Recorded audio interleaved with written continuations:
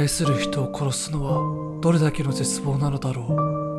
これはそんな男の末路だ。中央を見てほしい。二人の男が見えるだろうか。力な口にまみれる青年。彼を抱えるのは一人の老人。この老人は今自分の愚かさがゆえに息子を失ったところなのだ。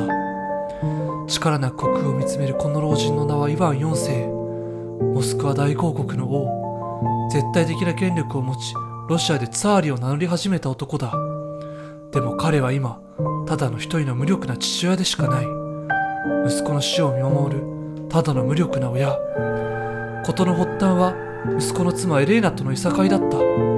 エレーナがしきたりを守らず薄着をしているのに皇帝は我慢できなかったのだ。だから皇帝は彼女のことを打ちのめした。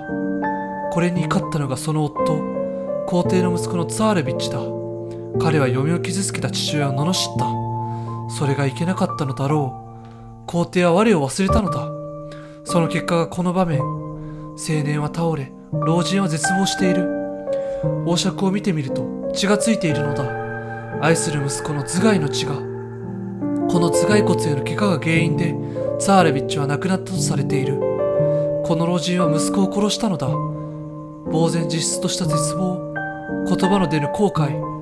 もはや取り返しのつかない過ちに気がついた彼の表情。いくら悔やんでももう遅い。これは一人の男の人生の最も悔やみ深い瞬間である。ちなみに打ち据えられたエレーナはこれが原因で流産。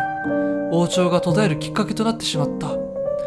そんな一人の男と怒りと絶望を描いた絵画だ。イヴァン来帝と息子イヴァンイリア・レーピン作。